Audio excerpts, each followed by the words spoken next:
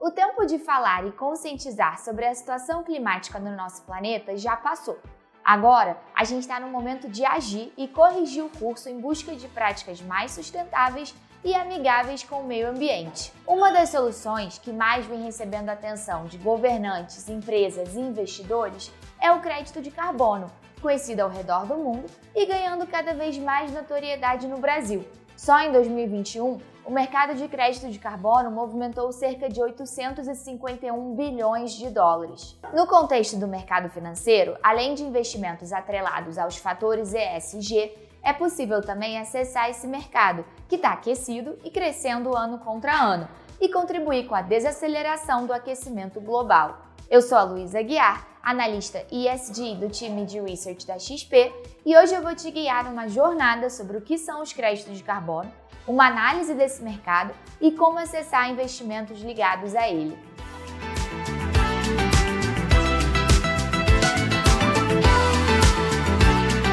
O crédito de carbono surgiu em 1997, a partir do Protocolo de Quioto, o primeiro tratado internacional que firmou o compromisso de diversos países com questões ambientais, em particular visando a diminuição dos gases de efeito estufa, e no qual todas as nações membros apresentaram metas de redução desses gases para limitar o aumento da temperatura global, criando obrigações legais para empresas em seus territórios cumprirem com o limite de emissões. Mas qual é o papel dos créditos de carbono nisso? Eles auxiliam países ou empresas a atingirem essas metas de emissão.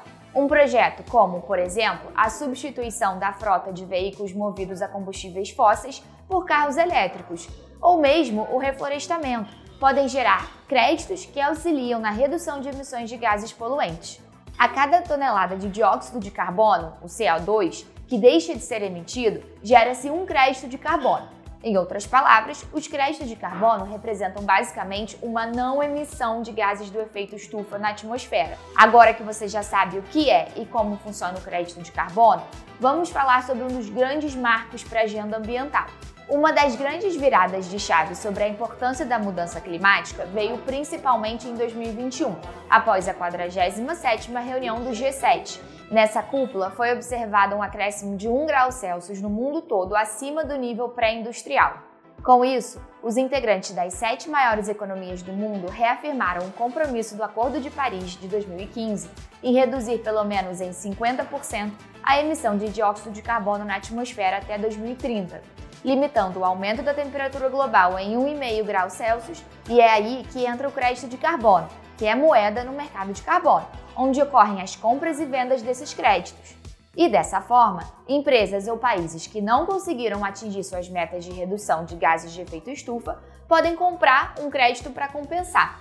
E, por outro lado, os vendedores são entidades que conseguiram reduzir suas emissões além da meta. Então, com isso, essa empresa pode negociar seus créditos de carbono com empresas que excederam seus níveis de emissão, ou com iniciativas governamentais que incentivam o desenvolvimento de tecnologias sustentáveis. Nessa dinâmica, o crédito de carbono vira uma espécie de commodity e que vem se valorizando cada vez mais. Numa simples relação de oferta e demanda, o índice de carbono IHS, que segue a oscilação de contratos futuros de crédito de carbono negociados em bolsas internacionais na Europa e nos Estados Unidos, subiu quase 275% nos últimos cinco anos. Mais importante que isso, é ter atingido desde 2022 a marca de 50 dólares por tonelada, já que a estimativa para atingir as metas do Acordo de Paris considera o preço da tonelada de CO2 dentro da faixa de 50 e 100 dólares. Com crescimento exponencial, um mercado cada vez mais sólido e atrativo,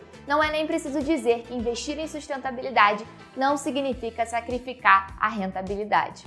Por isso, também separamos uma seleção de ações e BDRs que podem se beneficiar do mercado de crédito de carbono. A primeira delas é a Tesla, montadora de carros elétricos que também atua na produção de painéis solares e baterias. Através do seu modelo de negócios, que facilita a geração de energia renovável e contribui para o meio ambiente com seus carros menos poluentes, a Tesla consegue emitir créditos de carbono. Recentemente, a empresa gerou mais de 500 milhões de dólares em receita apenas com a comercialização desses ativos. A NextEra Energy é outra opção estrangeira. sendo uma empresa envolvida na geração e transmissão de energia, que por sua vez é comercializada para clientes de varejo e corporativos. A empresa possui várias frentes de geração de energia, como eólica, solar, nuclear, combustíveis fósseis, carvão e gás natural. O modelo de negócios da empresa, atrelado à geração de energia renovável, permite a emissão de créditos de carbono. A Nextera também foi pioneira a oferecer créditos de carbono relacionados à geração de energia eólica. Já quando a gente olha para o mercado brasileiro, um dos destaques é a Horizon, tanto para o mercado de crédito de carbono quanto para a agenda ESG como um todo. Vemos a Horizon como uma provedora de soluções chave para as tendências ESG, com o um modelo de negócios da empresa baseado na economia circular, estando diretamente envolvida na gestão responsável dos resíduos. A São Martin também merece atenção, apesar de fazer parte de um setor com desafios em relação à sustentabilidade, como é o caso do setor de açúcar e etanol. Vemos a empresa bastante comprometida com a agenda ESG, sendo uma das melhores do setor, dados seus diversos programas em vigor que focam na redução dos impactos adversos de suas operações ao meio ambiente. Os principais são o Programa de Controle de Emissões de Gases do Efeito Estufa e seu mapeamento do uso da terra e das áreas de preservação permanente, as APPS, além do controle em relação ao uso da água e projetos de gestão de resíduos. E vale destacar que tanto a Horizon quanto a São Martin estão na nossa carteira recomendada ESG no mês de maio. A nossa carteira conta com uma seleção de ações que tem alta exposição a fatores ESG, somado a uma análise fundamentalista positiva. Para conferir, é só acessar o link na descrição. E se você gostou do vídeo, deixe seu like e inscreva-se no nosso canal. Aqui você acompanha tudo de mais relevante no mercado financeiro pelo olhar dos experts da XP, além de acompanhar o Morning Call ao vivo de segunda a sexta-feira, às 8h20 da manhã, aqui no YouTube. Obrigada e até a próxima!